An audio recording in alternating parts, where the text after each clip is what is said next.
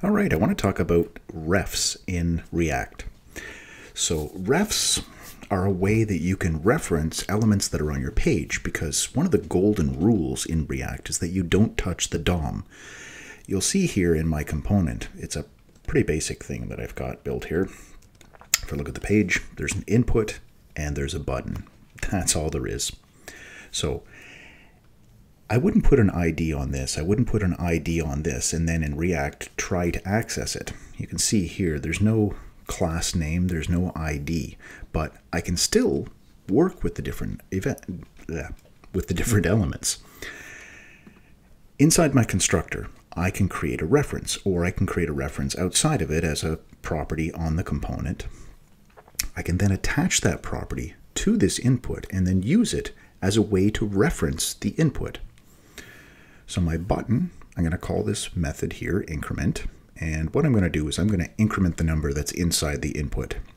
This is sort of a, a, normal situation where you would use references.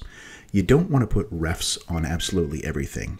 If you're adding refs to absolutely everything, then you're just kind of weighting it down. You don't usually need to. If I wanted to do something with this input, let's say I actually did have a value inside of here instead of a, just a default value, I could put an onChange handler inside of here.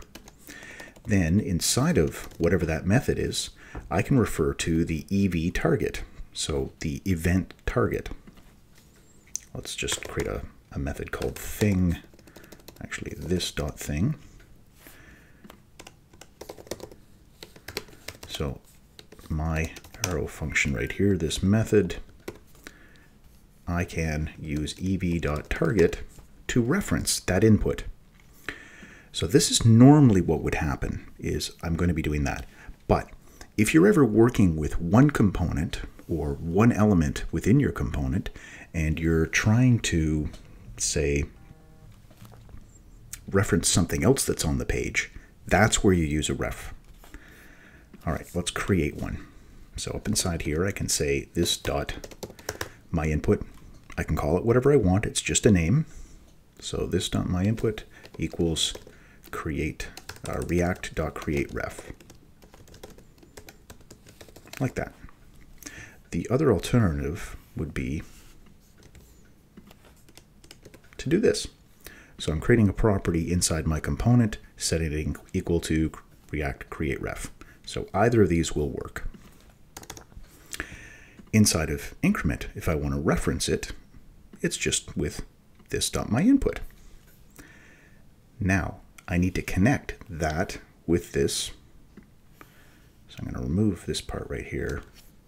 I'll just put this in a comment. There we are. Ref equals this dot my input. There. Now I have created a reference that I'm using in the input. So up here, I created the reference, gave it a name, and I put the name down inside of the element. Now, from anywhere in my page, whenever I want to refer to this input or anywhere inside my component, if I want to refer to this input, I just use this dot my input. This now refers to this element. Okay, so inside my increment, I wanted to update the number that's inside of here. So I'll say let num equal this dot my input. Now there's a property inside of here called current. Current references the current object right here. So my input is the ref, current is the actual input, and then we get its value with the value property, just like you would in regular JavaScript dealing with a DOM element. We can increment that number and then put it back in. This dot my input dot current dot value equals num. Now I could have compressed that all into one line, but just to show you what I'm doing here in very simple terms, um, left this thing right here. I am not using that. Let's erase it. Make sure I'm not referencing it. Yeah, good. Okay. There we are. So we're in here. Here's my app. There's my input. Default value is zero. And ref, the current, is the HTML input element. That's what we want. So a click, and there we are. Keep clicking, it'll keep incrementing that number, all because I have the ref. So one element doing something that needs to reference another element. We don't touch the DOM, so we don't put an ID or a class in here and then try to use document get element by ID or document query selector.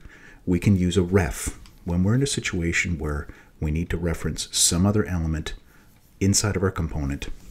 The ref is the solution to this problem. All right, that's it. That's refs. So hope that helps you out. If you have any questions, feel free to leave them in the comments down below. If you found this useful, please share it. And as always, thanks for watching.